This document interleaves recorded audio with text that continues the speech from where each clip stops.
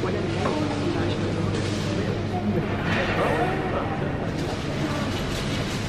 paid about 30 million pounds on it and about one third of that, about 10 million pounds came from mostly from local people and that's the you see on these